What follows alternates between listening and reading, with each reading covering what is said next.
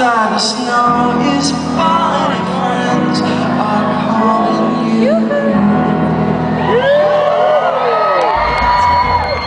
The morning's lovely weather, first they